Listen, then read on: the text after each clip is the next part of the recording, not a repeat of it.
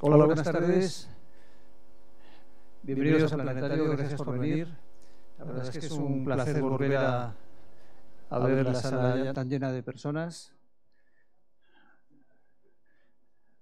Y bueno, vamos a comenzar con el acto de hoy. Como sabéis, el Planetario de Madrid es un centro que pertenece al Ayuntamiento de Madrid. Desde hace ya aproximadamente seis o siete meses colaboramos con la compañía Airbus, tenemos un convenio de colaboración con ellos que nos apoya en todas nuestras actividades. Y en esta ocasión hemos querido traer una cosa que es muy singular. Todos habéis oído hablar de, las auroras y que son fenómenos que se producen en la atmósfera, bueno, ya lo, ya lo van a explicar luego los expertos, y quisimos traer la presentación de un documental muy interesante que también está apoyado por la Sociedad Geográfica Española. Nos va a hablar una persona de la Junta Directiva, Susana, y Susana García, perdón porque me acuerdo del apellido, pero va a hablar un poco también de la, de la figura de Javier, luego de los, también de los participantes en este proyecto, porque ellos han querido profundizar un poco más en el fenómeno de la aurora. Son las primeras personas en el mundo que han intentado meterse en el corazón de la aurora, que es precisamente el título del documental que, vamos a ver. Así que muchísimas gracias por venir. De verdad que es un placer ver la sala llena de gente. Que sepáis, para los que no lo sabéis, que hay más de 500 personas que se han quedado en lista de espera para poder ver el documental este y que esperemos que lo vean por, por el canal nuestro de YouTube.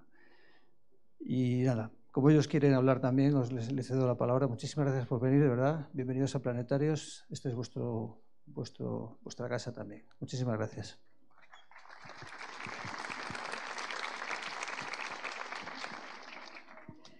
Gracias, Telmo. Eh, buenas tardes, yo soy Susana García, soy miembro de la Junta Directiva de la Sociedad Geográfica Española y bueno, pues estoy encantada de estar aquí hoy con todos vosotros en este planetario, que es el magnífico lugar para presentar el documental que vais a ver a partir de ahora. Eh, bueno, pues eh, en primer lugar quiero presentaros a los integrantes de este equipo, eh, que son Javier Cacho, que está aquí a mi izquierda, Está también Fernando Ortuño y Chedei Reyes, que creo que estaban por allí al, al fondo. Eh, que están también con nosotros y que son los artífices de, este documental y de este magnífico proyecto. Empezaré hablando por de Javier Cacho. Eh, bueno, yo lo siento, pero tengo debilidad, hace tiempo ya que lo conozco. Y bueno, pues Javier es una rara avis entre los científicos españoles. Eh, aparte de su carrera como físico, como investigador y como explorador, también es un divulgador. Eh, este físico es experto en la capa de ozono. Eh, participó en la primera expedición científica en la Antártida y además fue uno de los primeros eh, directores de la, base científica española. Sé que no le gusta que hable mucho de él, pero bueno, algo tengo que decir. bueno, pues de toda aquella experiencia profesional, pues le quedó el recuerdo y bueno, pues el interés de, de descubrir los exploradores, y los, de, esas tierras polares.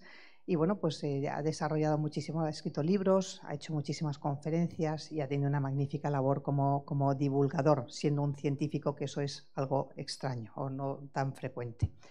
Precisamente por eso, pues este año, precisamente, eh, desde la Sociedad Geográfica Española le hemos dado el premio a la comunicación como científico y divulgador. Por este, este, precisamente por esto, por todos los valores porque ha sabido transmitir con, muchísima pasión, pero también con rigor científico, todo aquello que, conoce y todos aquellos conocimientos que quería compartir con, todos.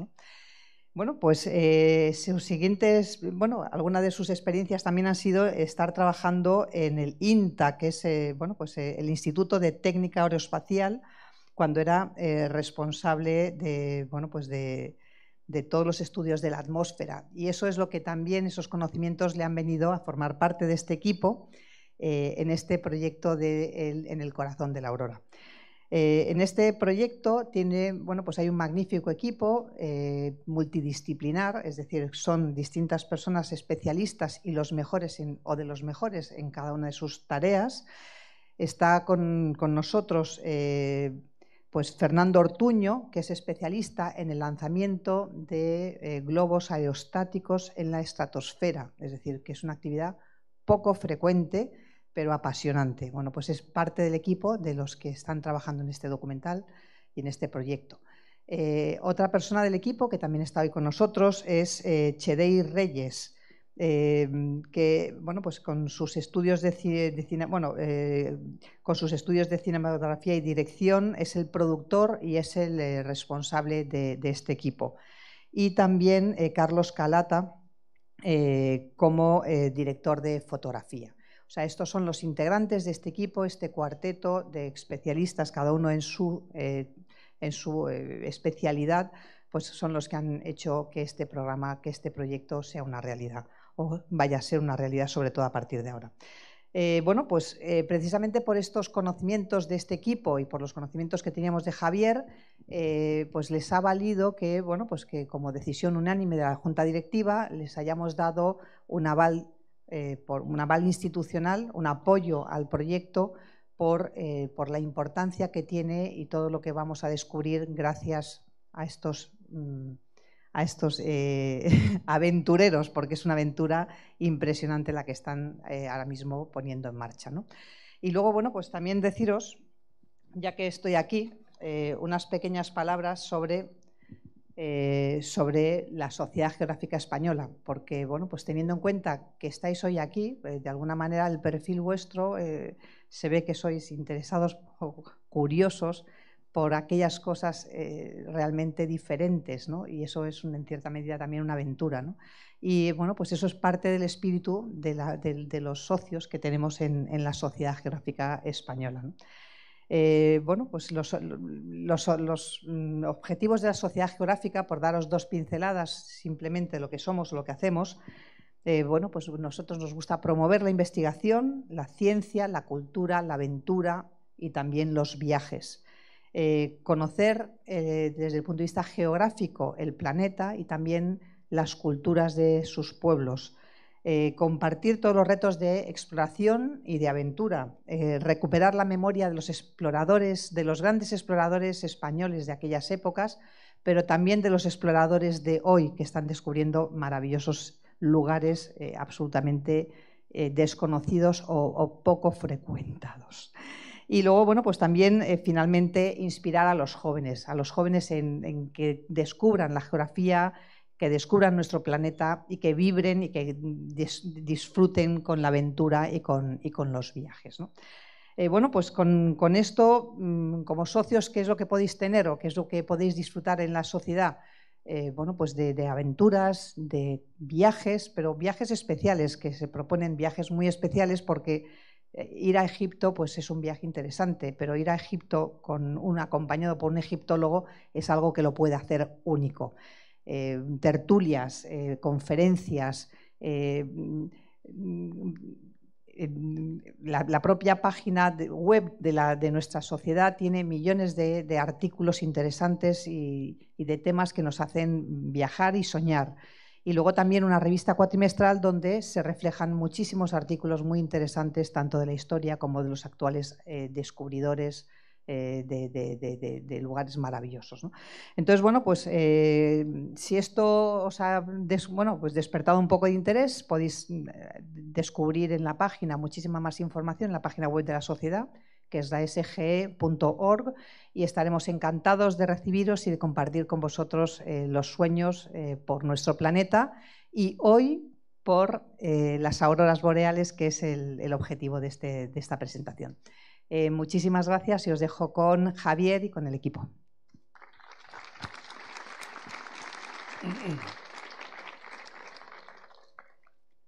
Muy buenas tardes. Bueno, gracias al Planetario por habernos brindado la oportunidad de estar aquí proyectando nuestro documental. A Susana García y a la Sociedad Geográfica por el apoyo que nos están dando para tratar de ponerlo en marcha. Y decirles simplemente, este, lo que van a ver, el documental que van a ver es la historia de un sueño y la historia de una aventura, todas juntas. La historia de un sueño porque de repente cuatro personas, realmente tres, yo me incorporé el último, pues eh, tres personas decidieron ver a la aurora como nadie la ha visto hasta ahora. No solamente ir a ver auroras, sino ir a verla, grabarla, pero no grabarlas desde el suelo, sino montar los equipos en un globo estratosféricos, subir el globo a 30 kilómetros de altura y desde allí filmar la aurora en el corazón de Aurora. Casi, casi. Pues ese es el sueño que nos planteamos. Y después el otro es la aventura que nos planteamos. No se pueden imaginar lo complicado que es hacer eso cuando uno se va al norte de Finlandia, cuando se entra 300 kilómetros por encima del círculo polar ártico, cuando está en, pleno invierno con temperaturas de 20 grados bajo cero, y, y un largo etcétera, y etcétera, y etcétera. Y hasta aquí puedo contar. Lo demás lo van a ver dentro de un instante. Muchas gracias por venir.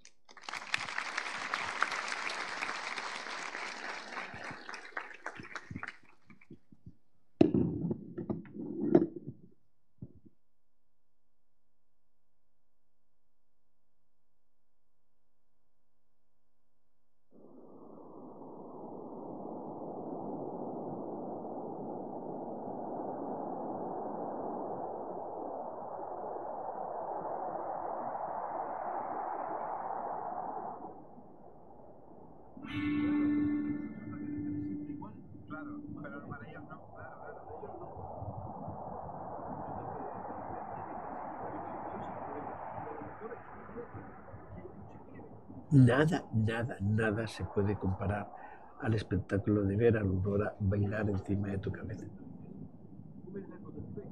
Te llega sutilmente al corazón y a partir de ese momento deseas con todo tu ser volver a ver otra aurora. Y ese espectáculo es absolutamente inolvidable porque a veces es totalmente distinto a todo lo que estamos acostumbrados.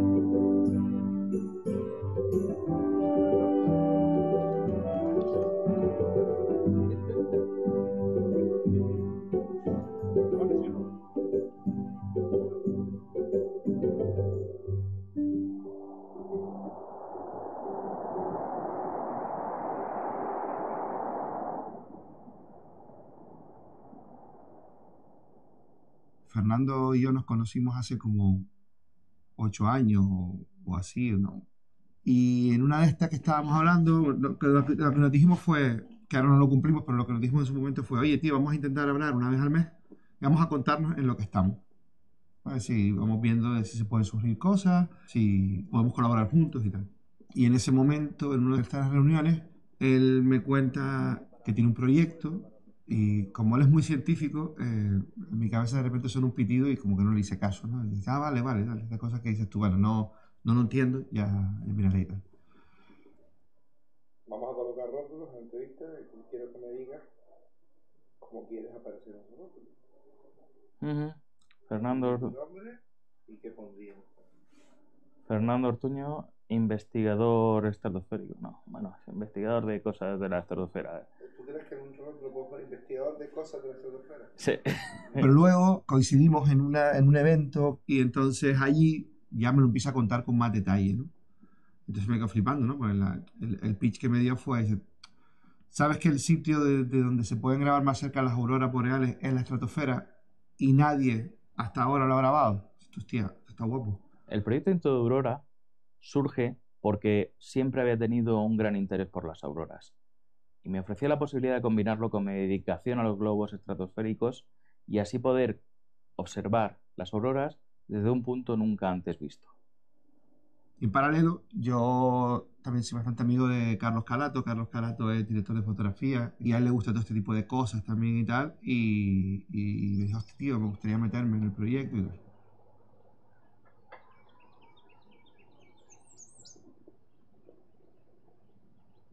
Realmente lo más que me llamó la atención fue eh, la aventura, la experiencia, la dificultad del trabajo, que siempre, quiero o es un reto especial y es un plus especial. Y al principio, bueno, fue una cosa que dije, mm, no sabía muy bien de qué iba, no conocía muy bien a la, gente con la que íbamos a participar, pero sin dudarlo, desde luego que me apunté y, y- y me fui con ellos.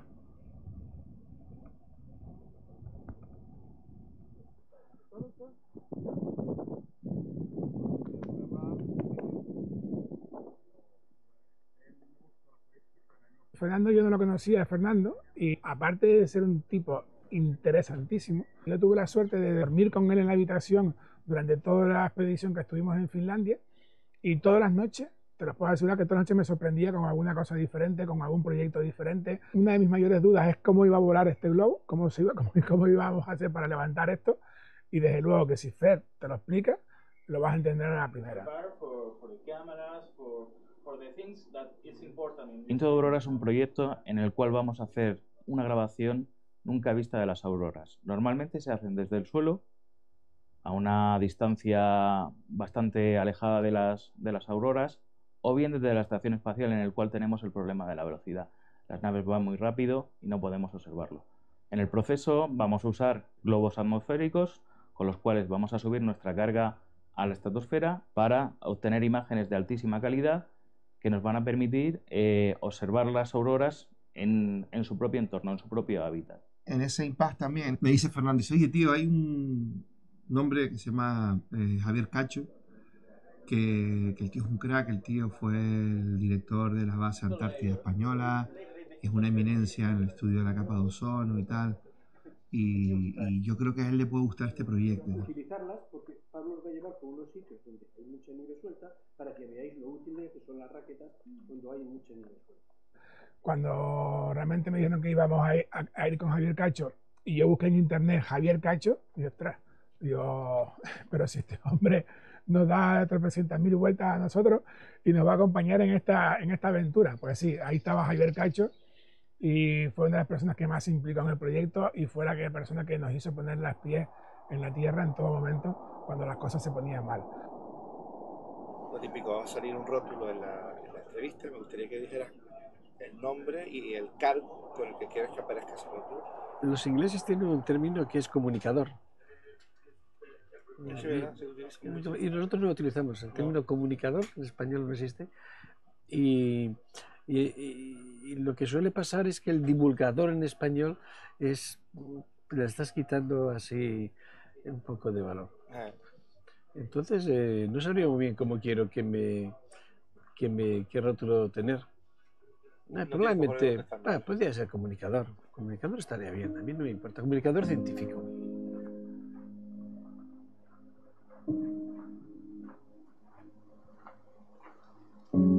El tema es que es que la naturaleza es una maravilla.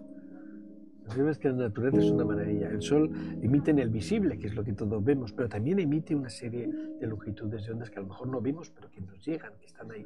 El Sol tiene unas explosiones que están emitiendo continuamente una masa de partículas. Ese plasma viaja por el espacio y llega a la Tierra. Tenemos nuestra atmósfera, es, que es nada, una, una película súper tenue, súper tenue, pues ahí eh, tiene lugar una serie de procesos. Pero por encima de esos procesos están, está todo el campo magnético de la Tierra, que es el que hace que esas partículas que vienen sean rechazadas por ese escudo. Y solamente dejan unos pequeños sitios donde se cuelan. De esos pequeños sitios son, son los polos.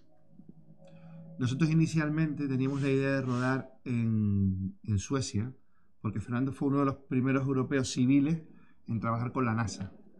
Llevo casi 10 años lanzando globos a la estratosfera y yo creo que hay varios proyectos que han sido para mí muy significativos. A nivel científico, eh, trabajar con instituciones como la NASA en el proyecto Sunrise, un telescopio que voló alrededor del Ártico, eh, fue quizá el, el, más destacable, pero para mí todos han tenido ese punto de, de interés y de reto que, que ha hecho que merezca la pena cada segundo que se le ha dedicado a ellos. Me dijo, está guay poder ir a Suecia porque hay una base meteorológica que además tienen eh, el helio, tienen los globos, eh, y, yo estuve allí, ya conozco a la gente. Y en esa, un día que estoy en Madrid, quedamos con Javier. A Javier le encanta el proyecto, pero nos dice, oye, yo estoy yendo de guía turístico a Finlandia, a un lago que se llama Inari, que es mil veces más grande que el sitio este que, que comentaba Fernando de Suecia. ¿Y por qué no vamos ahí?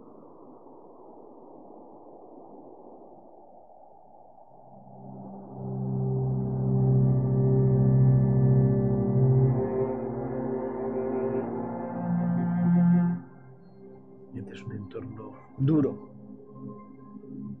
durísimo, pero de una belleza, de una belleza. Eh, a veces aplastante.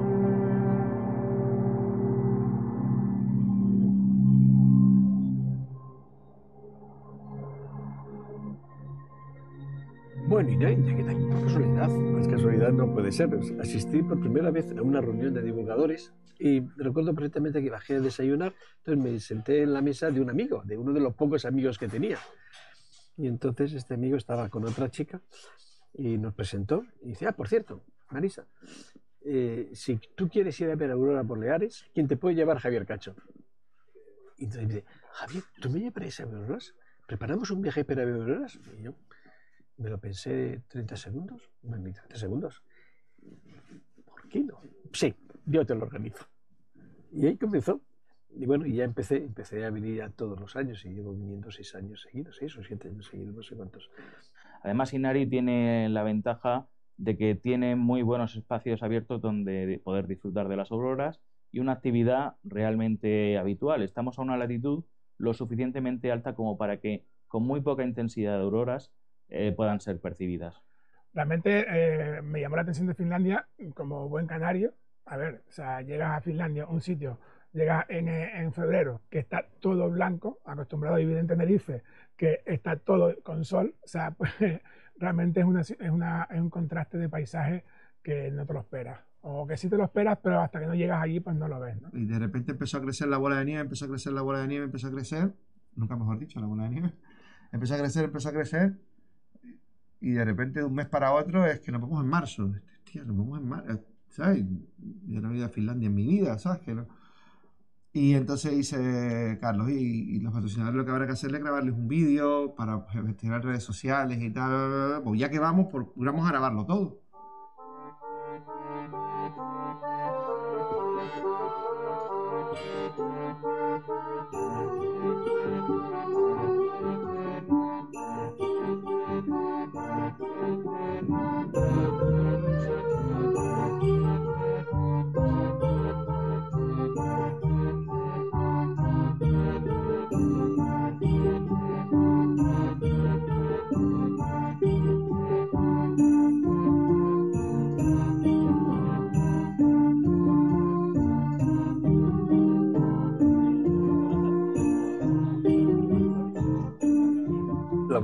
Las cosas que uno, que uno hace en la vida, pues, pues van llegando a través de amigos que te conocen y que, y que te invitan a participar en cosas.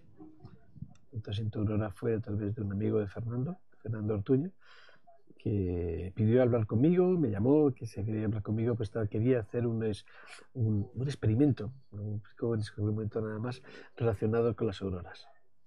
Y yo las auroras para mí es efectivamente es un mundo, es un mundo tan bello que, que de entrada llamó mi atención. Y cuando ya me contaron, la primera reunión que tuvimos, que lo que querían era era filmar en 360 grados eh, una aurora boreal, no solamente filmarla desde el suelo, sino filmarla desde 20 o 30 kilómetros de altura.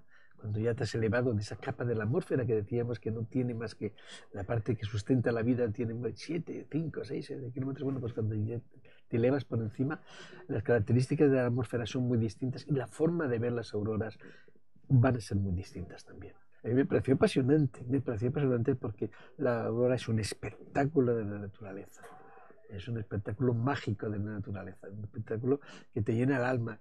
Javier, que fue el último que se incorporó, una vez estuvimos ahí y desde mi punto de vista era el alma mater del proyecto. O sea, es una persona que, que ama lo que hace, ¿sabes? Es una cosa brutal, ¿no? Es una persona con una capacidad de comunicación terrible y sobre todo con un amor hacia los parajes fríos y, y lo que se puede entender como inhóspito, que es brutal. Hola, soy Javier Cacho.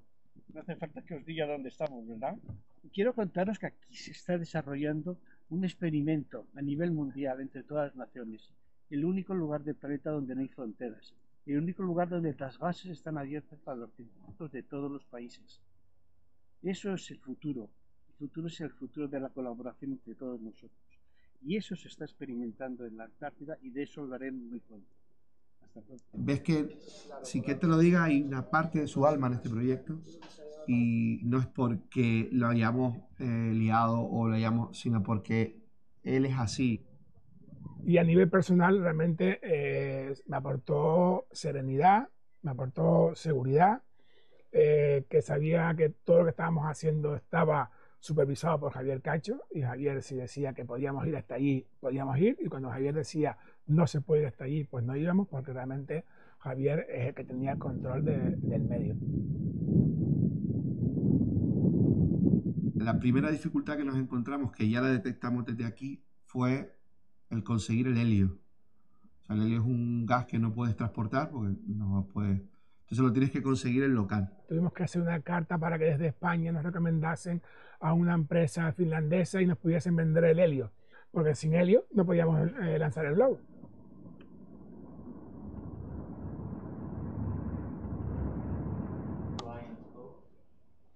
La dependiente no hablaba muy bien inglés y evidentemente nosotros tampoco. el fines no, es un idioma fácil. Y además el típico problema de no me sales en el ordenador. Aquí no me sale nada, pero en fines. ¿no?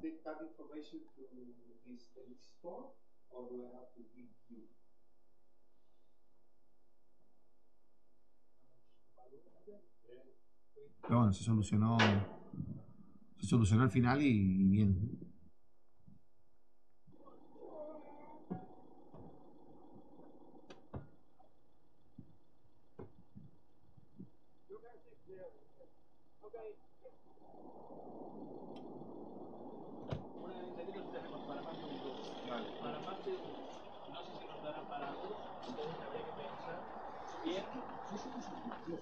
Esto es ¿Y convertido si en sale bien, Javier? Yo ahora quería lanzar siete. No.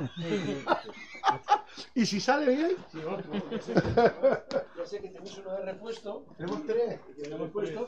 El, domingo por la mañana lo utilizáis y luego nos vamos, recogéis y directamente al avión. Luego otra cosa también que nos inquietó bastante del lanzamiento era el, el lugar de lanzamiento. En cualquier caso, subimos a Las la- auroras a se miden, como cualquier otro fenómeno, se miden en este caso una escala que va del 1 al 9. Es muy sencillo de entender. En función del nivel de actividad, se van a ver mucho más al sur o más al norte. Nosotros estamos a unos 70 grados de latitud dentro de lo que se llamaría el círculo polar ártico. Y dentro de nuestra latitud es frecuente que se dé el fenómeno de las auroras. O sea, Finlandia llega al final y la, y la rebordean Noruega por aquí, Rusia por aquí. Pero nada, es como caiga en Rusia no lo coge. Porque como pasa la soltera, es que no lo coges, pero no porque no lo encuentres, sino porque te pegan un tiro. First time in the Finland. First time. I've been in Norway, Sweden, and Denmark three months ago. Sí, yo creo que nos acercamos hasta la otra, pero esa es la alternativa. Si la tendencia, si la tendencia sigue como hasta ahora, quedamos aquí en esta zona, es una zona bastante perfecta para, para lanzar, no obstaculizamos nada. Y encima al estar en una zona de valle, el, no vamos a tener corrientes de aire para poder prepararlo. Lanzar un globo a la estratosfera eh, supone primero un proceso previo de analizar una serie de datos de patrones meteorológicos para saber hacia dónde se va a dirigir el globo y al mismo tiempo saber qué tipo de carga podemos incluir dentro de ese globo. Lo que haces es marcas el, el punto de, de- de- de aterrizaje, ¿no? De, de donde recoges la, la carga, ¿no? Y de ahí, partiendo de ese punto, vas marcando el- en función de todos los parámetros que mides con el modelo de predicción, de dónde lanza. Eh, Sabiendo las características del globo, el, el tamaño del globo, la carga que vamos a llevar y también, el, y también el- las variables meteorológicas, vamos a poder definir cómo va a ocurrir todo eso. El momento adecuado del vuelo lo define por, un- en- por último lugar el- la atmósfera. Es el único parámetro que no podemos definir, pero intentamos siempre que la atmósfera sea nuestra amiga. Entonces, definimos cuál es ese momento, el momento en el que la atmósfera más nos va a ayudar y a partir de ahí organizamos todo lo demás. El llenado con el helio, el, el material que vamos a llevar y el punto desde el cual vamos a lanzar. Es obvio que no podemos lanzar durante el día y es obvio que no podemos lanzar en un momento en el cual no hay auroras. Entonces, nos hemos metido unas variables adicionales que son un reto adicional en este proyecto.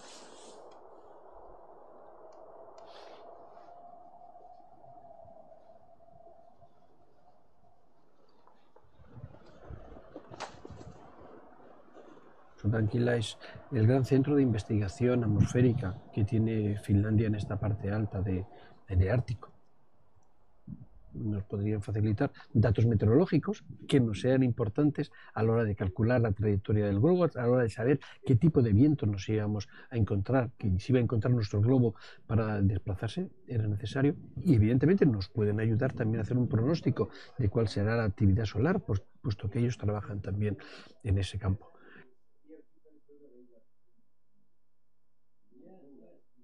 Y en la vida y especialmente en la ciencia tienes que sumar. Entonces, si alguien está trabajando en algo parecido eh, cerca de ti, vete a verle, habla con él, porque seguro, seguro que la relación eh, va a ser eh, dos más dos no van a ser cuatro, sino probablemente se conviertan en, no digo que 400, pero bueno, por lo menos en cinco.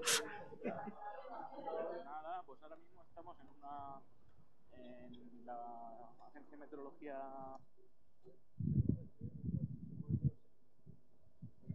Estoy renegando ¿De qué? de que todo ha salido bien rápido. A ver, la duda de Javier no estaba tanto en el proyecto, sino en nosotros. Es decir, Javier eh, conoce muy bien el, el- el lugar, conoce muy bien lo que es el medio helado, el frío, la Antártida, ¿no? Y veía que, que nosotros no estábamos escuchando, sobre todo yo, ¿no? Entonces, él decía, bueno, pues hasta que no se estampen no se van a dar cuenta, ¿no?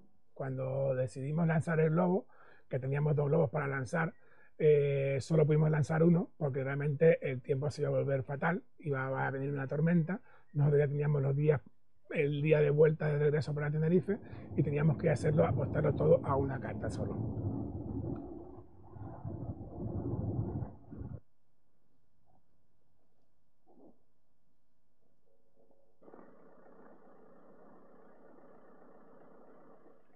Yo supongo que es como una persona que se casa y su boda, ¿no? Que es como, le- como que algo que le pasa muy rápido, muy, muy...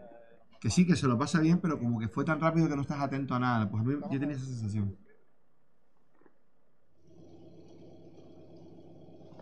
Desde un punto de vista audiovisual, ves el proyecto conceptualmente como una experiencia de vida y como un documental de algo que nadie ha hecho anteriormente. ¿no? Una vez estás allí, te vas impregnando del, el- del aroma científico que tiene el proyecto y de, y de esta curiosidad y de la prueba y error, el ensayo. Ahora sí Ahora va. Y está, eh, no es tanto cuando se infla el globo, sino cuando ya está en el aire y ves que camina por sí solo, ¿no? Porque todo era, estábamos ahí a las 2 de la mañana, al lado de la frontera de Noruega, eh, inflando con una manguera, no sé qué, bam, bam, estás ahí, venga, tal, no sé qué. Hostia, llevamos dos horas aquí, ya me están dando el frío por los pies, y de repente ves que el globo vuela y dices, hostia, colega.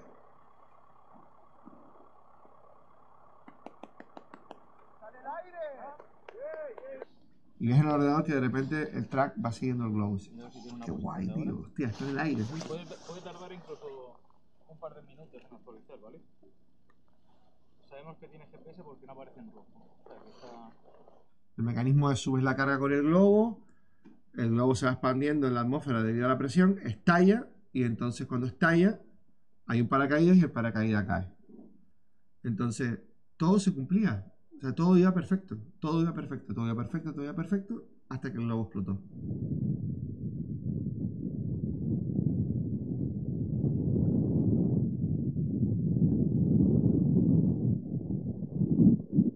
De repente la velocidad de caída era mayor de la que habíamos previsto. Si tú prevés una caída más línea, más recta, más lineal, te cae aquí, si de repente cae más rápido, cae antes. Eh, no hubo un problema de la carga, no hubo un problema de, del viento. Los dos casos que creemos fue o que el paracaídas se enredó o que el globo no se desintegró por el frío.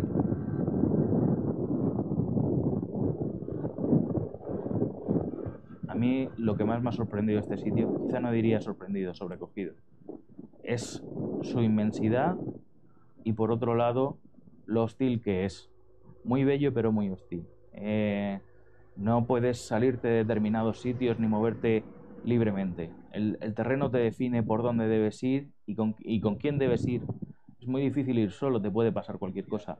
Eh, es muy difícil alejarte unos metros porque te puede sorprender una nevada y no ver más allá de 10 metros. O puedes adentrarte en un bosque y no ver ni siquiera tus pisadas por donde has vuelto. Es un entorno que no te lo pone nada, nada, nada fácil.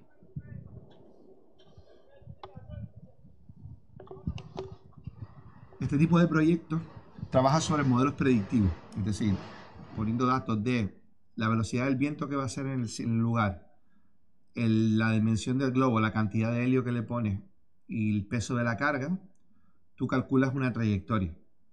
Que normalmente, si se cumplen todos esos parámetros, en un entorno normal, eh, estamos hablando de a lo mejor un margen de error de, de 150 metros, ¿eh? hablando de que estamos llegando a 22.000 eh, metros, ¿no? Entonces, el entorno era otro.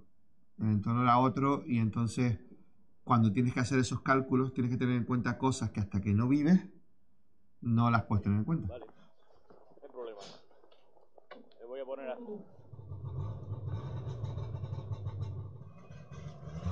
La búsqueda la tuvimos que organizar desde un punto de vista geográfico en función del punto de caída que marcaba el GPS. Habían dos posibilidades, que era o realmente es ese el punto o realmente el GPS falló. Si, el, si ese es el punto, solo habían dos formas de abordarlo, que era a través del lago, que era más larga, o yendo a través de tierra. Yo la búsqueda la, la viví eh, de dos maneras. Me gustó esa experiencia en moto, eh, moto de nieve, nunca había estado en una moto de nieve, una experiencia diferente. Y a medida que nos íbamos entrando, ese buen rollo de decir, ay, qué guay, me van a meter en moto de nieve, ya se iba bajando y decir, ostras, eh, esto está complicado. Nosotros llegamos allí como dos canarios y un murciano que nos íbamos a comer Finlandia y Finlandia nos comía a nosotros. La búsqueda así fue eh, poco esperanzadora, es decir, eh, salíamos ya con un 95% de probabilidad que se, de que no lo íbamos a encontrar.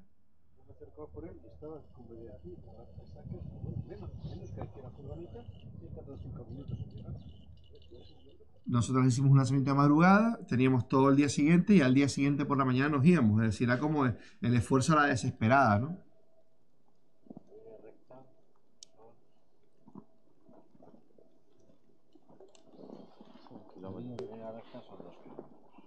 Pues no es lo mismo que tú hayas predicho dónde va a caer, puedas acercarte, no lo ves, entonces lo buscas, pero está en el radio que tú has buscado. No, no, el problema de aquí era que estábamos, estábamos a 200 metros de la carga, pero no podíamos llegar. O sea, la nieve era nieve virgen, era, nos llegaba a la cintura o incluso algunos al cuello y no podías acceder sabiendo que estaba ahí. Tenías un GPS que te decía que estaba ahí y no podías cogerlo. O sea, esas cosas, pues, eh, a Javier nos decía siempre que no caiga en el bosque, que no caiga. Tenía toda la razón del mundo, es decir, no podía caer, tenía que caer en el lago, porque era imposible, materialmente imposible cogerlo.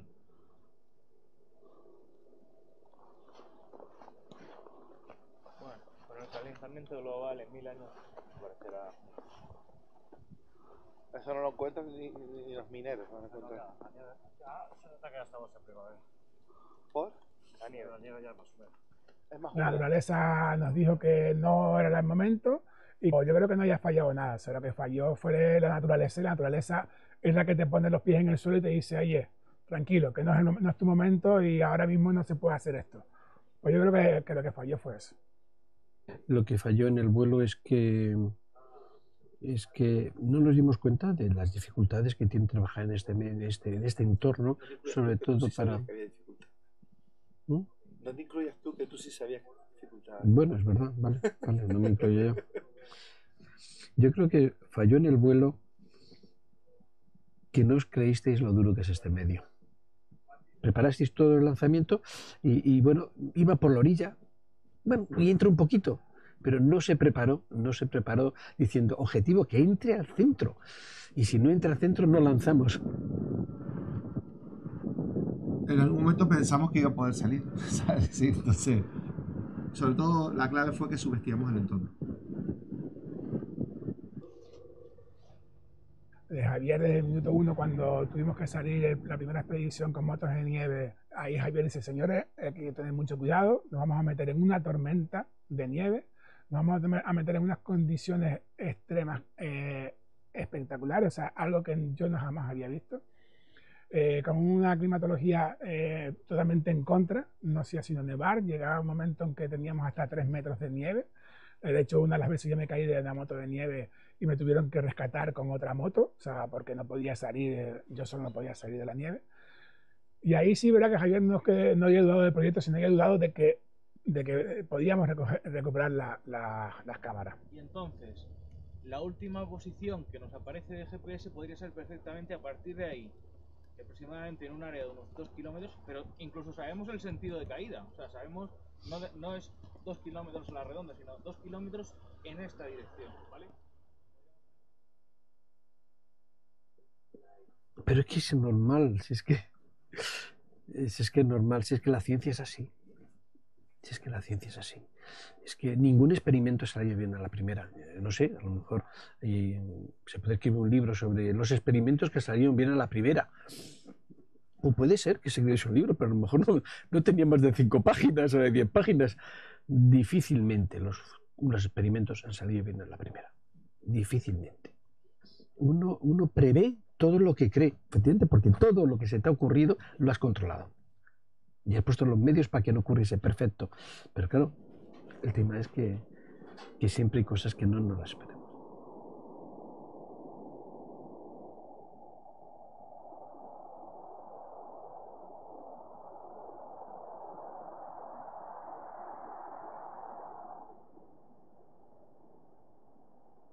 Hay maravillosos fenómenos en la naturaleza, las estrellas fugaces. Sí, efectivamente. Chim, chim, chim, y se te van. Eh, un rayo. Es impresionante. El trueno, un atardecer. Pero ninguno, ninguno, ninguno se parece a esa, esa luz tenue, eh, fantasmagórica, suave de la aurora. Te llega sutilmente al corazón y te enamoras de la primera aurora que has visto y a partir de ese momento deseas con, con todo tu ser volver a ver otra aurora. Es muy difícil explicar con palabras qué ocurre cuando ves una aurora por primera vez. Estas cosas mágicas que tienen los proyectos, ¿no? Que de repente nos cuadró que un día vimos las auroras boreales desde la Tierra. ¿no? y fue alucinante. O sea, salimos, Chede y Fernando y yo salimos, al- salimos fuera al lago Inari, estábamos en un hotelito muy, peque- muy pequeñito pegado al lago, salimos al lago y recuerdo que fue una experiencia, pero brutal, o sea, porque pensábamos que las habíamos visto el día anterior Y lo que habíamos visto el día anterior no eran auroras, era una cosa que nosotros pensábamos que eran auroras, pero no era.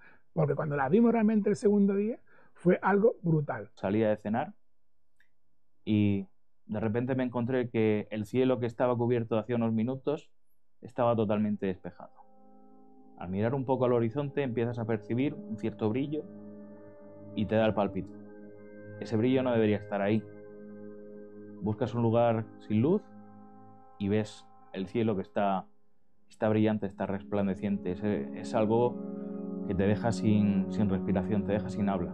Es una belleza espectacular. Hay que verlas. Estas cosas que hay que ver una vez en la vida. Y se oyen, se oyen. Si, te, si mantienes en silencio y te quedas, estás callado, se oyen también las auroras. Hay un sonido que es maravilloso. Y desde luego, o sea, todo, como todo tipo de, de espectáculos de naturaleza, verlos en grupo es muchísimo mejor poderlos compartir, ¿no? Y ahí estábamos Fernando, Chede y yo, como tres niños chicos, sacándonos fotos, haciendo unos vídeos. Es incomparable, tienes, tienes que sentirlo por ti mismo para poder definir eso. Por mucho que pueda decir palabras sobre las auroras, hasta que no las vives, no sabes lo afortunado que eres de, de poder verlas. Para mí todo era un rememorar, un rememorar cosas. Entonces, eh, todo lo que hemos hecho me ha llegado al corazón como a lo mejor no me, como a lo mejor no me llegó cuando, cuando lo hacía inicialmente 30 años atrás. Eh, ahora, con otra, con otra perspectiva de la vida, sabes quizás disfrutar más de esos pequeños momentos porque sabes que son únicos. Yo he tenido, estoy, estoy como teniendo la posibilidad de revivir, de volver, de volver a reescribir mi vida. Para mí ha sido sobrecogedor, ha sido una experiencia brutal estar en medio de un lago, 50, 60 kilómetros del lugar habitado más próximo, y sentir esa fuerza de la naturaleza, sentir una ventisca de nieve golpeándote en la cara, es algo que es inolvidable. Ver el cielo lleno de auroras es otra experiencia inolvidable. Sentir todo eso y al mismo tiempo sentir que estás cumpliendo un sueño y cumpliendo el, el sueño de ver las auroras como nunca antes habían visto, es algo que me ha marcado absolutamente volvería a repetirlo, pero con los ojos cerrados. Eh, habría que ver cómo lo hacemos, habría que ir a estudiar, eh, estudiarlo de otra forma, ver cuál sería la técnica para hacerlo, pero claro que volvería a repetirlo y volvería a repetirlo con el mismo equipo, con la misma gente. Para mí, yo siempre lo he dicho, este proyecto es de cuatro. Inicialmente era un proyecto de Fernando y que Fernando eh, compartió conmigo y luego nosotros la compartimos con Javier y con, y con Carato porque las cosas tienen que salir de alguna manera. Pero es que es un proyecto de los cuatro, sea, es un... no se puede eh, repetir este proyecto si no estamos los cuatro. Yo siempre lo cuento como una victoria. Y todos mis amigos y toda la gente a quien soy yo se lo he contado, eh, siempre oirán de mí como una victoria. Porque fue una victoria llegar hasta donde llegamos, y fue una victoria intentarlo, y fue una victoria poder tener la suerte de haberlo, de haberlo intentado que no salió el experimento es un hecho, ¿no? Que sea un fracaso. Mira, de esa experiencia me vengo con unas personas con las que he afianzado mi lazo de amistad, un viaje a un sitio que no conocía y el conocimiento de una forma de, de lanzar globos a la estratosfera grabando con cámaras y de las auroras que tampoco conocía. Entonces, ¿lo considero un fracaso? No. Falló el experimento, pero no lo considero un fracaso. Creo que de siempre habrá alguna persona rara, pero si yo a nueve personas, a diez personas le digo, si quieren vivir esto viviendo lo que he vivido yo, creo que nueve me dirían que sí. Entonces, ¿es un fracaso? Yo creo que no. Un fracaso hubiese sido que no hubiésemos llegado, que hubiésemos quedado a la mitad, que no hubiésemos podido llegar hasta Inari, pero es que lo llegamos a hacer todo. Nosotros hicimos todo lo que estaba en nuestra mano. Eh, el único problema fue el, la, fue el clima, fue la naturaleza. O sea, no fue un fracaso. Nosotros tenemos la espinita clavada de volver porque creemos que con los recursos necesarios y con una mejor planificación, sabiendo ya cómo es el entorno, lo podemos conseguir. Tengo una última pregunta para ti, creo que es la más importante. Vaya por eso. ¿Qué tendrías que pasar para que no volvieses a pisar los polos? Uf. Si la vida es. la vida. Eh, sabemos. Sabemos lo que estamos haciendo ahora. No sabemos qué va a ser de nosotros ni dentro de diez minutos. No pretendo ponerme, no pretendo ponerme trágico, pero no sabemos qué va a ser de nosotros dentro de, de un rato. Por eso yo quiero vivir lo que estoy viviendo, lo que he vivido. Disfrutar como he disfrutado de estos días intentando, intentando un sueño que era, era poner algo dentro, dentro de una aurora. Podremos volver el año que viene, ojalá. Yo lo deseo de todo corazón, pero nunca sabemos.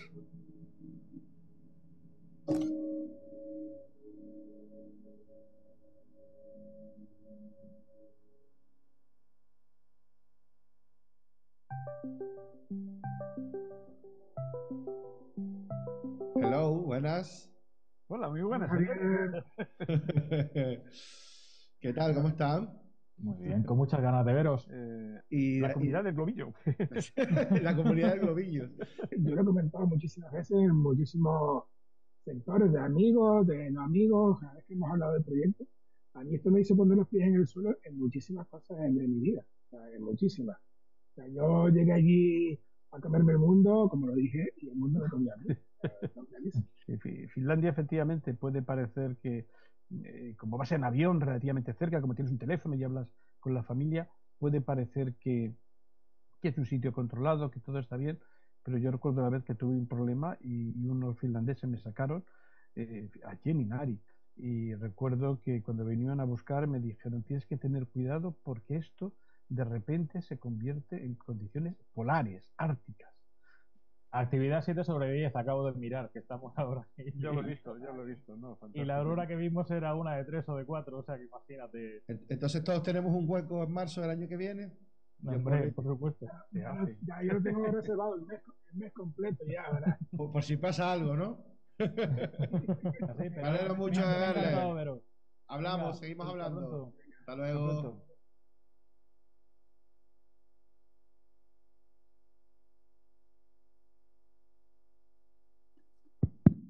Bueno, pues muchísimas gracias, Javier. Gracias a todos por escuchar. Eh, vente conmigo, Javier.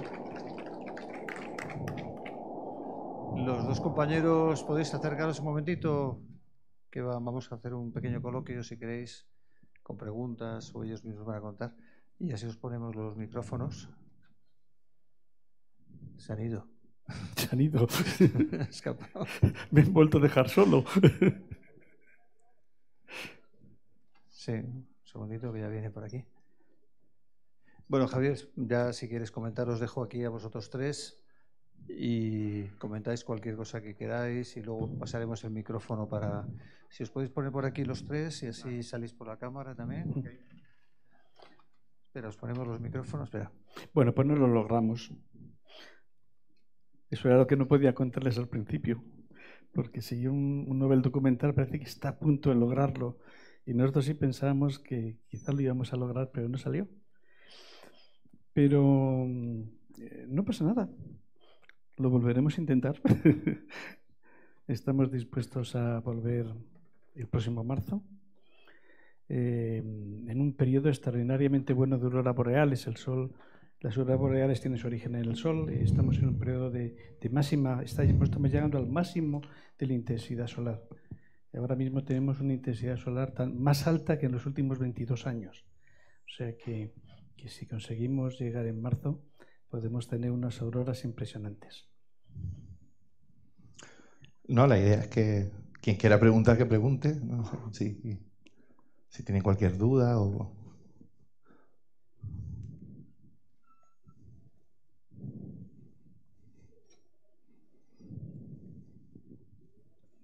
Bueno, buenas tardes. Yo primero quería felicitaros porque, bueno, más allá de encontrar la aurora, habéis encontrado la forma de disfrutar y de vivir un sueño en primera persona. Entonces, bueno, esa pasión por buscar algo y, y sentirlo de esa manera tan apasionada, pues, eh, bueno, es lo que yo creo que es, es el fin del ser humano, ¿no? Muchas veces eh, el disfrutar de las cosas en el instante que lo tienes es el momento en el que desaparece, pero en esa búsqueda ansiosa, esa búsqueda ilusionada, bueno, ese es el camino, ¿no? Yo quería hacer una pregunta porque, bueno, eh, sí que es cierto que se percibe, eh, bueno, pues que efectivamente en ese momento eh, cae, se está buscando, entonces me queda la duda de si se hubiera producido la situación de encontrar efectivamente el elemento caído, dadas las condiciones que se dieron, ¿tenéis la percepción de que podríamos haber visto algo eh, o, podríamos haber visto aquello que esperabais ver o las circunstancias que se dieron llevaban a que, oye, eh, incluso aunque pudiéramos haber visto algo, no se había producido el experimento en las circunstancias que esperábamos? Y luego una segunda pregunta es si, bueno, sabemos que es difícil, igual no habrá que esperar de cielo, como se decía en un comentario, pero ¿podría darse la situación de que se encontrara, no sé si esa señal GPS puede perdurar, pero que se encontrara con el tiempo y pudiéramos recuperar eh, ese elemento caído? Vale, muchas gracias. Bueno, eh, a las dos preguntas creo que debería contestar yo. Eh, bueno, eh, existe la posibilidad de que podamos, de que alguien pueda encontrarlo. Lo que pasa que es una posibilidad bastante remota. De hecho, en las horas que transcurrieron desde que el globo cae hasta que hasta que vamos hacia esa zona, eh, había habido una nevada bastante intensa y, probablemente el paracaídas y cualquier elemento visible que lo hubiéramos visto, como por ejemplo el paracaídas de un color rojo que hubiera contrastado mucho contra, contra, contra el fondo, pues no era, no era absolutamente visible y además tenemos las condiciones meteorológicas que estaban degenerando muy, muy, muy rápidamente. Entonces, pues ahí, ahí yo creo que, que sería muy difícil. En época de deshielo, lo que ocurre en esa zona es que se convierte en una zona donde existen mi- miles, miles, es una cantidad infinita de lagos eh, muy pequeños que están ah, por doquier. Y encima de todo son lagos que tienen un fango, eh, un limo bastante farragoso, que probablemente ya haya enterrado eso. Así que a nivel de, a nivel de GPS, pues sería muy difícil que la señal pudiera, pudiera avanzar y obviamente por la batería ya estarían descartadas. Eso sí, pues alguien que algún día pues se vaya a pescar allí, pues probablemente a lo mejor empiece a tirar y de repente se encuentre pues que no ha pescado una trucha, un salmón o alguna cosa de la que desconozco la, la fauna local, la- la- los peces de- del hábitat. Pero, pero bueno, nada. Y respecto a la otra pregunta, que era si se había encontrado algo, eh, si, si esperábamos haber encontrado algo con esas imágenes.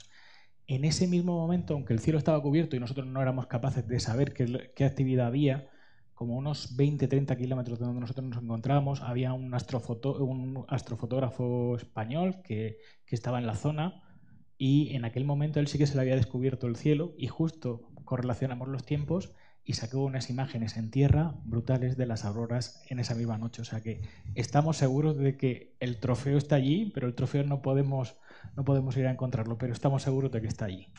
Sí, un, un apunte nada más. Eh, es verdad que en todo este tiempo, por ejemplo, eh, aquí Fernando ha estado investigando mucho el, el por qué no, ¿no? Y el por qué no salió. Y entre esas investigaciones también hemos trabajado mucho en la parte de estabilización del vuelo, ¿no? Entonces, a lo mejor sí podría haber un problema con la estabilización de la imagen en ese lanzamiento. ¿Sabes? No, a lo mejor no serían, sabiendo lo que sabemos ahora, ¿eh? no sería tan nítido o tan estable como sabemos que ahora se puede hacer. ¿no? Y no solo porque lo sepamos, sino porque los medios técnicos ahora no son los de hace seis años. ¿no?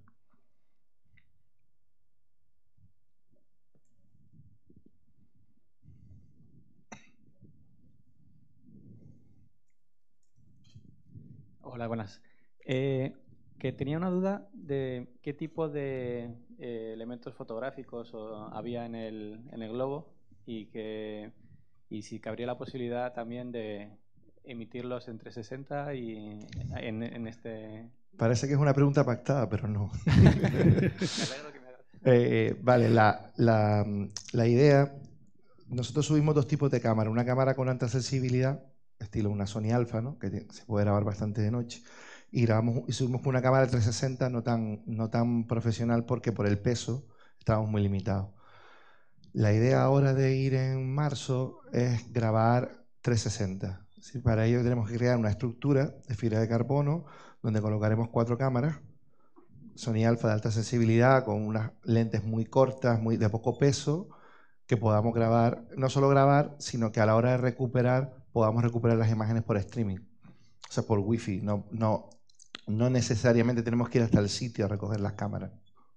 No sé si te contesté. Sí, sí, sí. Es que te- tenía otra pregunta también. Vale, sí, ¿cuál? No, era por curiosidad el, el- el valor económico que, del equipo que se había perdido. Eh, es una pena que no esté Calato aquí, porque pa- parte del equipo era de él. Pero bueno, puede estar. El, en aquella época ya ni me acuerdo porque teníamos cámaras también que nos habían cedido patrocinadores y no, pero ahora solamente el equipo de lanzamiento, contando cámaras, lentes, puede estar en torno a unos 50.000 euros, una cosa así. Tienes que tener en cuenta que ahora al tirar con cuatro cámaras tienes que tener cuatro de backup por si te falla el vuelo, más baterías, más la estabilización, más los globos, más lentes, un poquito menos, pero redondeando al alza por ahí.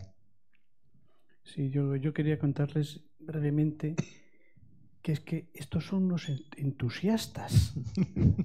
Vamos a ver. Creo que se notaba bastante, Sí, ¿no? Fuimos a Inari, os lo recuerdo, para que conocieseis el entorno. Yo les No, invité pero- a veni- venir, conocer el entorno, veis las dificultades que se tiene de trabajar aquí. Oh, sí, estupendo, estupendo, estupendo. Y cuando llegué allí, dice, mira, nos hemos traído unos globos, nos hemos traído unas cámaras, nos hemos traído... Y ya que estamos aquí, pues hacemos un lanzamiento. Sí, sí. No, no, Así a- fue. además es así, es que veníamos Así fue. con una, con una Así inercia. así Así fue. Sí. Prometo... Bueno, se, se te olvidó lo de, lo, lo de que se me quedaron los globos en mi casa, pero bueno, eso es eso otra historia. Pero, Eso es otra historia. Pero yo lo que prometo es que la próxima vez que vayamos vamos a ir en serio, ¿no? A- llevándolo hecho- todo atado bien atado, es- porque todo fue un poco improvisado también. O sea, fue No, ya que estábamos tiempo. aquí, pensamos que teníamos todo, había posibilidades y entonces nos metimos en una aventura pues demasiado, demasiado grande para Sí. nosotros. Hay, hay Sí. una anécdota un poco graciosa respecto a este tema de cómo veníamos de, de animados y es a él se le habían olvidado los globos y yo- el hecho de que estemos aquí y estemos contando esta aventura es porque a una persona había bebido demasiada agua a la hora de cenar. Me dice, eh, entonces lo que ocurrió fue que él me dice, oye, pues no me he traído los globos por si hacíamos algo allí y tal. Y digo, pues espérate que estamos al lado de un señor que es distribuidor de, de globos estratosféricos. Mm, Era la una de la mañana, aproximadamente, una o dos de la mañana. Le mandé un mensaje pensando que no le íbamos a recibir y el avión despegaba sobre las nueve, es decir, teníamos el tiempo justo. Pues me contestó al rato y dice, oye, que porque la llamada de la naturaleza me, me ha hecho levantarme, he mirado el móvil por casualidad, mañana normalmente abro a las 10, pero voy a estar ahí a las 7, 8 de la mañana para, para poder entregar los globos. Así que tenemos que darle las gracias a Luis Gallardo y Nemet porque si no, no hubiera salido esa, esa aventura.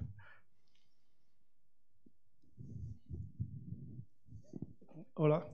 Eh, bueno, en Ah. principio, enhorabuena por el trabajo. Además, eh, resulta muy ilusionante.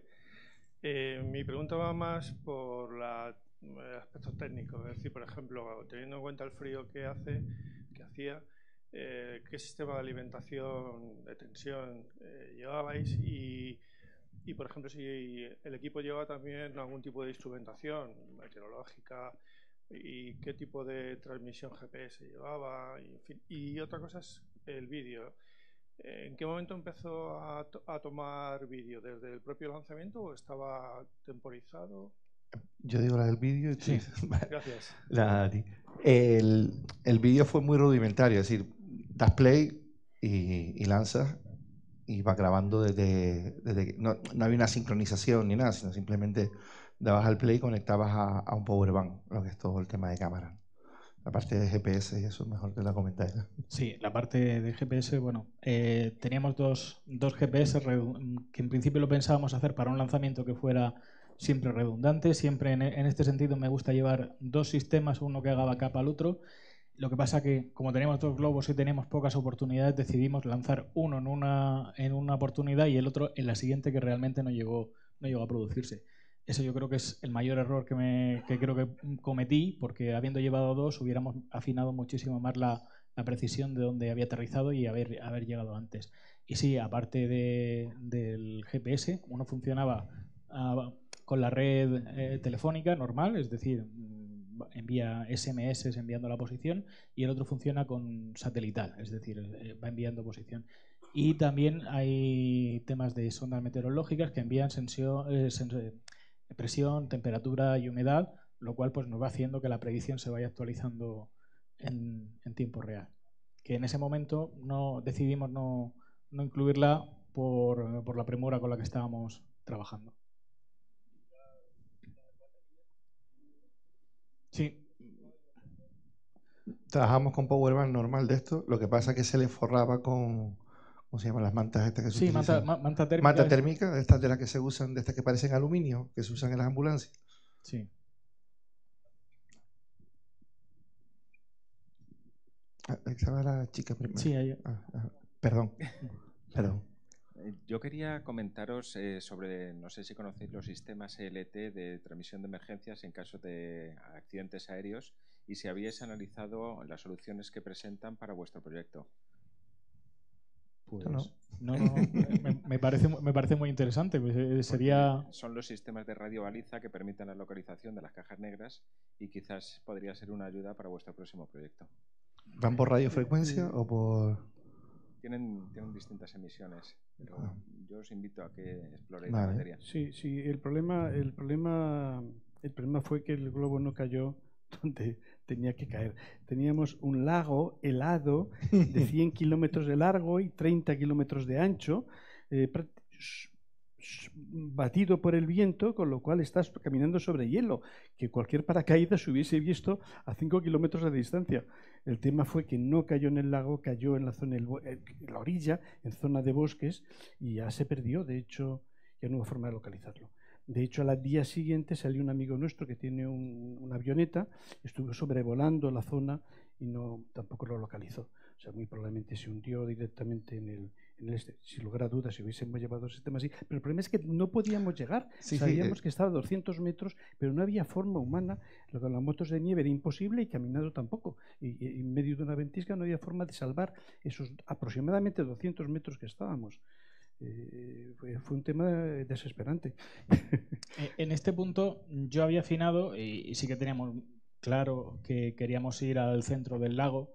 Había afinado los cálculos para que en el caso de un lanza, una explosión del globo, los globos llegan a una altura de unos 30 y algún kilómetros, en ese momento se explotan y van descendiendo. Y se supone que el paracaídas se abre, el globo se ha desintegrado por completo y es un peso que no llevamos. Es decir, si el globo no se desintegra como creemos que pudo haber pasado, tenemos un peso más hacia abajo, que lo que hace es acentuar la velocidad de caída. Eso hizo que en vez de entrar al centro del lago, cayera justo en lo que eran los bordes, muy cerquita del, lago, pero mm, como él dijo, te vas un 100 metros eh, fuera de lo que es el, el lago y estás perdido. Y efectivamente fue, fue así. Entonces mm, teníamos el miedo de adentrarnos en la frontera rusa, porque el lago está, eh, el extremo oriental del lago está justo en la frontera rusa. Teníamos miedo a eso. Y por, por miedo a enfrentarnos a, a Rusia, nos, nos enfrentamos a la naturaleza.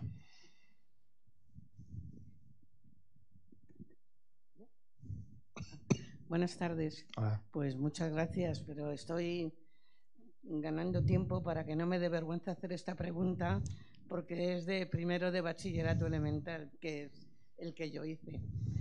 Eh, siempre, mm, pero desde mi ignorancia supina va, ¿eh? Siempre que hablamos de auroras boreal, siempre hablamos de, o yo veo que se habla del Polo Norte. Es que en la Antártida, o sea, en el Polo Sur, ¿no se producen? Sí. Yo me he enterado que sí, ¿no? ¿O no?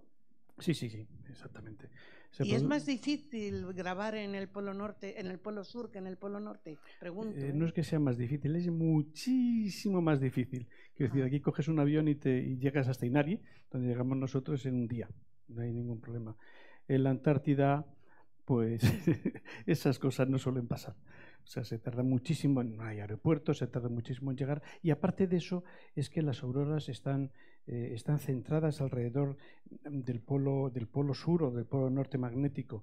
Y en el caso del hemisferio norte nos pilla muy bien centradito en la zona, la zona de la península escandinavia, escandinava, sur de Groenlandia, luego seguimos por Canadá, llegamos a Alaska, queda muy bien centradito lo que se llama el cinturón auroral. El cinturón auroral del hemisferio sur prácticamente está en el Pacífico, en el Pacífico de la, de la costa de la costa australiana, o sea que se producen sobre el mar.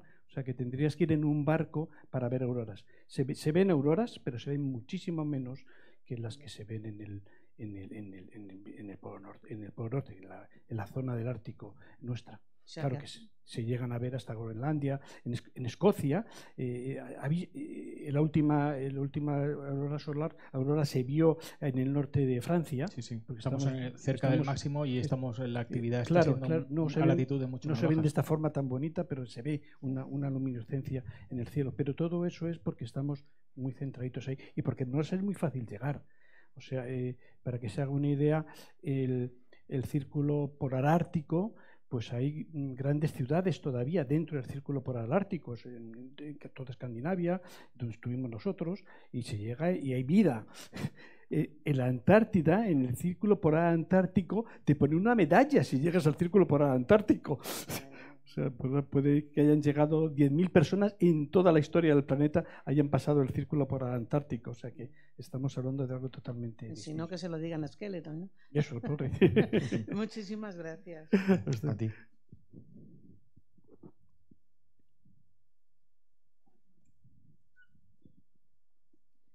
Hola, buenas. Hola. enhorabuena por vuestra aventura. Y os quería preguntar cuánto tiempo esperáis que esté en caída para grabar en el siguiente intento. Perdona, es que no lo he oído bien. ¿Cuánto tiempo va a estar en caída la cámara? En caída. Sí. Bueno, mm, queremos que sea en torno a unos 3-4 metros por segundo para que caiga sobre unos 18-20 kilómetros por hora, lo que sería el equivalente a la caída de, de, una persona que se lanza en paracaídas, un- un- una velocidad similar. Eso estamos hablando desde esa altura, unos 30 y tantos minutos, 40 minutos de descenso. Pero la grabación de la aurora no, no, no, no será en ese momento, en ese momento también, sino desde el momento que tú lo lanzas, de que empiezas Sí. a, sobre, a sobre- sobrepasas la capa de nubes, llegas, entras en la estratosfera, todo eso ya estás grabando y después puedes tener, dependiendo de los vientos, pues 20 minutos de grabación, media hora de grabación, eh, ya dependerá de la fuerza de los vientos. Sí, el, el ascenso aproximadamente dura unas dos horas, dos horas y media que, que tenemos de ascenso, de las cuales es aprovechable mm, dentro de lo que es la estratosfera, que es eh, donde queremos observar los fenómenos que nos interesan. Es decir, hay muy poca mm, eh, polución, aerosoles disueltos en la atmósfera, lo cual nos permite que nuestro campo va a abarcar hasta, hasta el horizonte, o sea, literalmente hasta el horizonte, sin efectos de la contaminación lumínica, sin efectos de, de cualquier actividad que pueda producir el hombre o, o de la nubosidad. Estamos hablando de que es un, un campo impresionante. Eso aproximadamente vamos a tener pues una hora fácilmente de, de metraje que pueda ser interesante para, para poder mostrar. Y si necesitáis que os acompañe alguien más.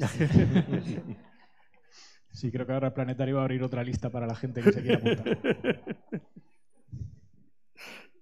Buenas tardes. Yo os quería preguntar sobre cuáles son los datos que podéis llegar a analizar más allá de las propias imágenes que podéis obtener, si hay algún dato meteorológico, algún sensor, algún tipo de material o artilugio que, que pueda dar mm, algún tipo de información más eh, encaminada al... O, o es solamente un tema de, de- de videografía.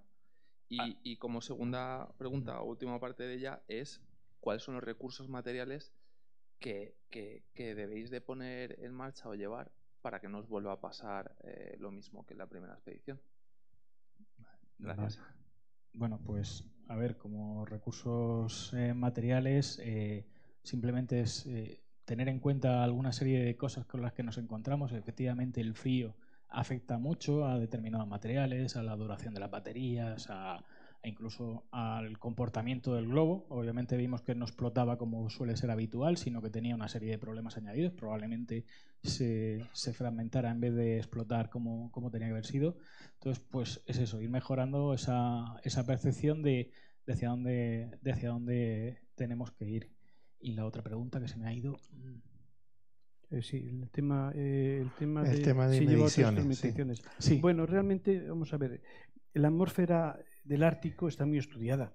O sea, diariamente se lanzan dos globos en la zona nuestra, en Sí, sí, Sodanquila, sí. dos o tres globos. Quiero decir que eso eh, no tiene mucho sentido que aportemos nada porque va a ser un, lanzamiento sobre 500 que están lanzando, bueno, 500 en, en Noruega, 500 en Suecia, 500 en, en- en Finlandia. Eso no tiene sentido. Y este año sí, o sea, lo importante era el tema, el tema de filmar las auroras. Y este año eh, tenemos un acuerdo con la Sodankila, que es el centro de investigación finlandés, que quieren poner un detector de neutrinos eh, que es muy pequeñito, aprovechando nuestra, eh, nuestra barquilla, nuestro, nuestro globo. Y eso sí, eso sí es novedad para nosotros y para ellos. Ellos miden, es un sitio donde están midiendo continuamente la radiación cósmica y querían ver también cuál es la la diferencia entre la radiación cósmica que llega al suelo y la radiación cósmica a 30 kilómetros de altura. Personalmente sí que diría que hay una cosa que yo sí que aprendí y que probablemente los meteorólogos de Finlandia lo conocen perfectamente y es que eh, la atmósfera no se comporta igual en las diferentes capas aquí que allí, no solamente por la diferencia de temperatura, eh, hay otra serie de factores que van, van influyendo en ella y por tanto el modelado que yo hago aquí, que me da una precisión muy buena, no, no es el mismo que me sirve para hacerlo allí. Eh, Es decir, el tiro, la, la velocidad con la que asciende, porque estamos en un aire mucho más, eh, más denso al, al estar más frío. Aparte, las capas están más comprimidas en los polos. Es decir, la estratosfera comienza antes en, en los polos que en el ecuador. Obviamente, todo eso va influyendo en cómo se comportan los globos. Así que, pues obviamente, creo que aunque fue, pues se pueda entender como que no llegamos a cumplir nuestros objetivos, sí que hemos aprendido lo suficiente para asegurarnos de no cometer otra vez los mismos errores. Malo sería si los volviéramos a cometer. Y luego cosas más básicas de extender el tiempo que estamos y, el número de lanzamientos. Es decir, aquí estuvimos cuatro o cinco días, la idea ahora es ir 14 y estar allí y aparte de los medios técnicos también realizar más de, más de dos lanzamientos. Sí, posiblemente eh, no solamente lo lanzaríamos de Finlandia, de la frontera con Noruega, que es la, la zona occidental de Finlandia, sino que estábamos pensando en hacerlos desde, desde, desde Noruega para poder que tenga más tiempo, más tiempo de vuelo. Bueno, Estarán más animados ¿no? para hacer más lanzamientos de globos, como, no como en el documental, ¿no? que te veíamos ahí renegando. no me hagan hablar.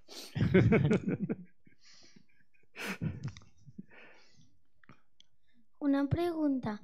¿Y quizá con un dron no hubieran atrapado la camada? Mm, ¿Con un dron? Buena idea. No, no, la verdad, la verdad que son cosas que en algún momento nos hemos, nos hemos planteado, cómo, cómo hacer ese aterrizaje, esa toma, esa toma de, de tierra. Hemos pensado incluso pues, en hacer algún tipo de sistema mecanizado, un dron también podría ser una solución para eso. Son cosas que hemos estudiado, al final optamos por las soluciones más convencionales, porque a veces la tecnología más convencional suele ser la, la que, funciona, la que funciona mejor, y simplemente iterar ir desarrollando mejoras para, para asegurarnos de que vaya a funcionar bien. El por qué no hemos usado un dron hubiera sido genial, pero mm, queríamos. No, sa- y- sabíamos que estábamos ahí en un límite en el que lo que ya sabíamos nos Y- funcionaba bien. Y que los, dron, los el drones, eh, hay imágenes, hay imágenes de Mm. dron en el, en el vídeo, pero el dron no, no llegan a 30 kilómetros de altura. Igual que un avión normal, un avión normal tampoco llega a 30 kilómetros de altura, se quedan a, a 10 kilómetros, 12 kilómetros. Entonces el dron eh, vale muy bien, toma unas imágenes perfectas, pero en los primeros, no sé, 500 metros de atmósfera, Sí. un, un kilómetro de la atmósfera, ¿no, David? Que llega, que llega un dron que llega a subir en la atmósfera. Para recogerlo. Ah, para recogerlo. Ah, para la búsqueda. Sí, para la búsqueda sí, hemos pensado varias cosas, claro. Sí. Bueno, de todas maneras, un dron ahí arriba no tendría mucho sentido durante las primeras fases. Sí que en un momento pudimos estudiar también el que cayera en un paracaídas el dron y cuando estuviera cerca ya fuera, fuera eso. Fue una de las tantas ideas que, que analizamos. Pero Lo del parapente con los chips que iban sí, sí, sí. orientados. Estábamos mirando un, estuvimos viendo un- con un grupo de investigación utilizar parapentes con chip a la que tú previamente le das una coordenada y el parapente llega a esa coordenada. Pero claro, al final el remedio era peor que la enfermedad. Si vale más la pena con lo que costaba hacer cuatro intentos con los conocimientos de, Fernando que intentar eh, meternos en ese lío de, los chips que al final tampoco lo acabamos controlando y necesitas más recursos. Entonces al final veríamos que era mejor iterar muchas veces teniendo controlado toda esa fase que intentar innovar ahí. ¿no? Eh, bueno, enhorabuena. Espero que el año que viene pueda volver aquí y ver un feliz resultado. Gracias. Y Ojalá. mm, mi pregunta es, eh, dado que las cámaras tienen un mínima, una mínima temperatura de funcionamiento, porque las cámaras normales tienen como 0 grados de temperatura mínima, ¿qué, qué, mm, qué temperatura hace en la estratosfera o a 30 kilómetros? Como, o sea, ¿qué, equi- qué equipo especial eh, aunque el físico, de grabación? el físico es, es Javier, eh, en esta parte me gustaría yo precisar, porque la gente habla de la temperatura y efectivamente la temperatura que tenemos allí es una temperatura muy baja, muy gélida, pero tenemos una cuestión que la gente no suele tener en cuenta y es que la presión es muy baja. Estamos hablando de una presión que a veces puede ser de 5 o 6 milibares, es decir, aquí estamos a unos 960 milibares en este momento Estamos hablando de casi casi el, vacío por completo. ¿Y eso qué ocurre? Pues que desaparecen fenómenos como la convección, es decir, el, flujo por el que se va desapareciendo el calor desaparece al, al no, tener, al no tener algo con, con lo que absorber ese calor. El aire no está robando calor. Entonces, la propia temperatura que van generando las cámaras es suficiente para mantenerla durante el vuelo, aunque estemos hablando de temperaturas de 60 o 70 grados bajo cero. Claro, aquí se te- la cámara se te, se te congela porque esta es la densidad del aire es muy alta. Pero si, no hay aire para transmitir el calor, para que, para que se escape el calor, diríamos, pues se queda calentita ahí. El problema es luego cuando vuelven hacia abajo, que es cuando se van a encontrar con el aire frío que les está presurizando, es decir, está entrando dentro de, de las cámaras. En ese momento es cuando las cámaras sí pueden sufrir un poquito más y para eso sí que las llevaremos preparadas. Eh, muy interesante, muchas gracias. Bueno, muchísimas gracias. Eh, si alguien tiene un millón de euros y quiere acompañarles, no hay ningún problema. ¿eh? Sí, yo me he traído datáfono, no hay problema. Bueno, gracias, Javier. Muchas gracias, Telmo. Sí, bueno, gracias a todos. Un fuerte aplauso, de verdad. Os deseamos un gran éxito para la próxima. A lo mejor un millón de euros es demasiado, pero a lo mejor 100.000 os hacen falta y de verdad que se admite. Ahora ponemos una hucha en la puerta. Muchísimas gracias. eh. Gracias, Gracias. a todos. Gracias. Muchas gracias por venir.